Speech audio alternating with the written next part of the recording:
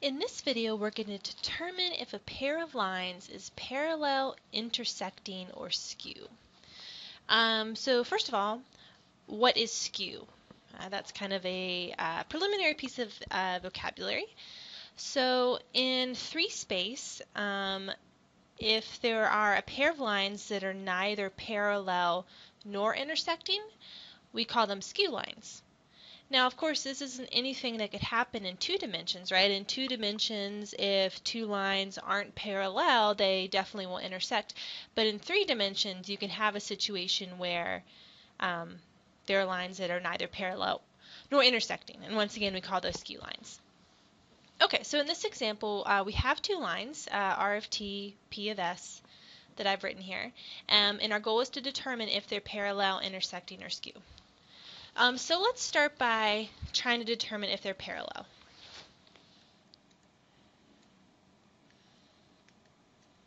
Okay, so how are we going to do that? Um, well, first of all, let's just remind ourselves of the structure of the equation of a line. So uh, the line r of t equals r sub 0 plus t times v.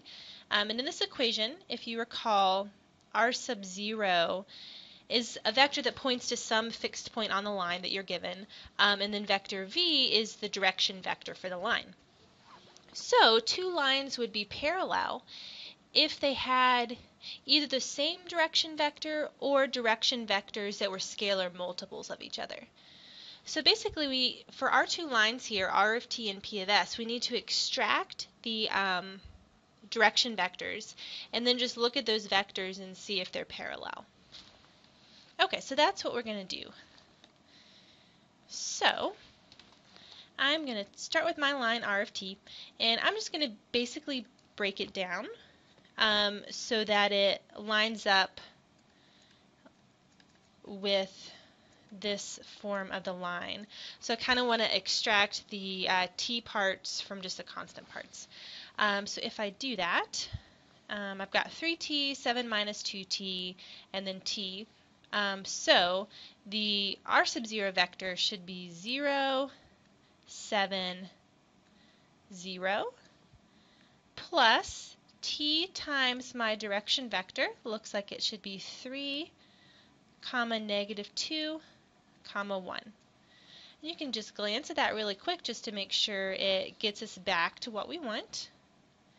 And it looks like it does, right? 0 plus 3t, 7 minus 2t, 0 plus t. So that looks good. So then this is our direction vector here, this 3, negative 2, 1. Okay, so we'll come back to that. Let's do the same thing for line P of S. I'm just going to break this up. So my uh, R sub 0, or my, my constant parts, are 1, 9, and 3 and then plus t, and if I extract that direction vector, looks like I should get negative 1, 2, and 1. And actually, I guess I should have an s out front instead of a t there. And then in this case, my direction vector is this negative 1, 2, 1. So if we just take those and write them side by side, these two direction vectors. I've got 3, negative 2, 1, and negative 1, 2, 1. So I wanted to determine if these vectors are parallel. And, and once again, what I said before is that if they're parallel, they should either be the same vector or scalar multiples of each other. So, is that the case here? Well, if I look at the z components of these two vectors, both of the z components are 1. Okay, so then if they were going to be parallel, all the other components should be the same as well, um, and they're not. Okay, so these vectors aren't the same, and they're not scalar multiples of each other, so then these lines are not parallel. Okay, so not parallel. Okay, so then our next task is going to be to determine if these lines are intersecting.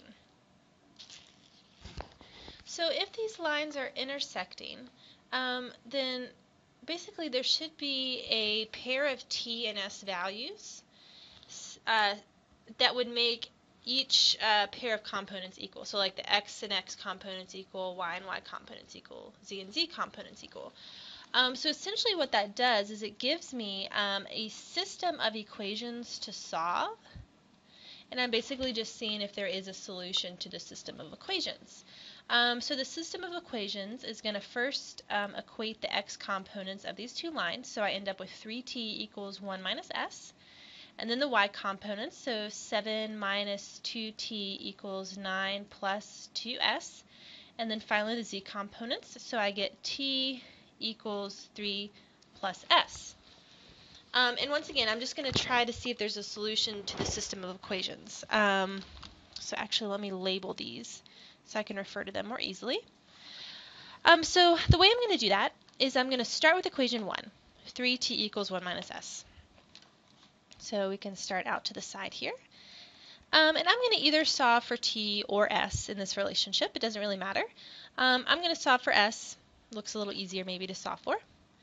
Um, so that's simply going to give me s equals 1 minus 3t if I rearrange that um, equation there. Okay, so I have this s equals 1 minus 3t.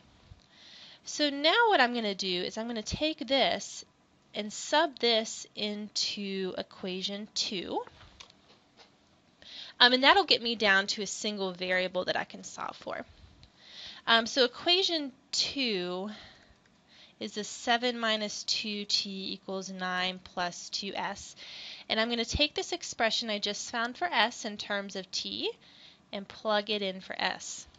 Okay, so I end up with 7 minus 2t equals 9 plus 2 times a quantity, 1 minus 3t. Now I'm just going to go through and solve this for t. So 7 minus 2t equals 9 plus 2 um, minus 6t. Um, so that's 7 minus 2t equals 11 minus 6t. Um, so if I rearrange everything, I should end up with 4t equals 4 uh, which gives me t equals 1. Okay, so I'm just going to underline that. We want to keep track of that value there. Okay, now um, let's find the associated s value. Um, so if t equals 1, then s equals, well, we, remember we had this relationship s equals 1 minus 3t. So I'm just going to plug in 1 there. Um, so that's 1 minus 3 or negative 2. So s equals negative 2. Okay, so basically what we've done so far is we've taken those first two equations there in my system um, and we've solved them. And what we found is we found this uh, these solutions, t equals 1, s equals negative 2. Um, but now what I need to do is I need to take those and plug them in and see if they satisfy equation number 3. Um, and if they satisfy equation number 3, then that pair of values is going to be a solution to the system of equations. Uh, so let's now look at equation 3 and plug these values in. So t equals 1, and I'm checking to see if that's equal to 3 plus s where s is negative 2. And it looks like, yeah, we get 1 equals 1. So what does that tell me? Well, that tells me that there's a solution to the system of equations, which in turns, turn tells me that these lines actually do intersect. Um, and specifically, they intersect when t equals 1 and s equals negative 2. Um, and if we wanted to, we actually could find the point. So let's actually do that really quick. Um, so let me just copy these lines down here. Um, so if I plug in a t value of 1 to r of t, um, it looks like I should get the vector 3, 5, 1. Um, and if I plug in negative 2, to p of s, it looks like I should get 1 minus negative 2, so that's 3. And then 9 minus 4 is 5. 3 plus negative 2 is 1. Okay, so they intersect at the point